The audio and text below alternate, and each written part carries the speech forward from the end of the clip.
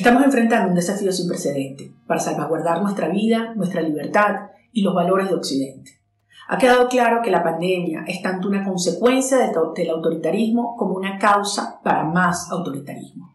Es una consecuencia del autoritarismo por su origen oscuro, en un sistema totalitario, que escondió y manipuló información y con ello facilitó la propagación de la pandemia alrededor del mundo.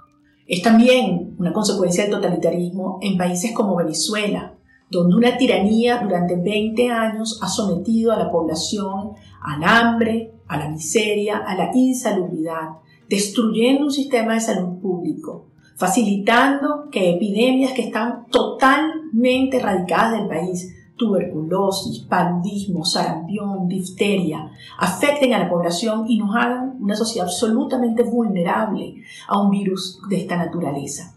Pero adicionalmente, la pandemia es también causa de más autoritarismo. Los sistemas autoritarios utilizan fenómenos emergentes como instrumentos de control, como armas en un conflicto no convencional. Y lo hacen en tres planos, en el plano de la información, en el plano de la población y en el plano de la economía. En el plano de la información, mintiendo, manipulando descaradamente como ocurre en Venezuela. Nadie cree las cifras de muertos, ni de afectados. El señor Jorge Rodríguez llegó a mentir a principios de la pandemia diciendo que había más de 2.000 respiradores en Venezuela cuando sabemos que entre las clínicas públicas y eh, privadas y los hospitales no llegaban a 150. Lo hacen también en el plano de la población, para provocar el control social, fragmentando la sociedad, segregándola, incomunicándola, para aplacar la conflictividad social que crece cada día. A pesar de ello, todos los días detienen eh, y, y, apresan a ciudadanos en toda Venezuela que están protestando porque no tienen gas, porque no tienen agua, porque no tienen gasolina, porque no tienen luz.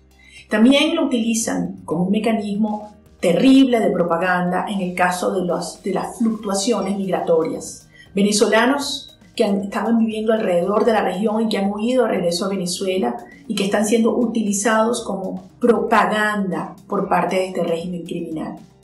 Y bueno, y finalmente el terror, la persecución a los médicos para que no denuncien lo que ocurre en los hospitales, a los periodistas, 14 que ya han detenido, a los tuiteros y desde luego a la población en general. El tercer plano es el plano de la economía, estos sistemas totalitarios saben que la fortaleza de Occidente en sus mercados es producto del dinamismo, del intercambio, de la alta eficiencia de sus distintos sectores productivos. Obviamente esto las afecta y las debilita vis a vis estos otros eh, mercados o países. ¿Qué nos depara después del coronavirus? Los cambios que tendrán en nuestra vida son muchos.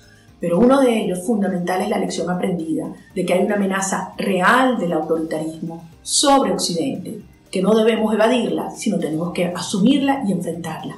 Y en el caso de Venezuela, no solamente librarnos de la pandemia, sino de una vez por todas, librarnos del autoritarismo criminal que es una amenaza para Venezuela y para todo el hemisferio.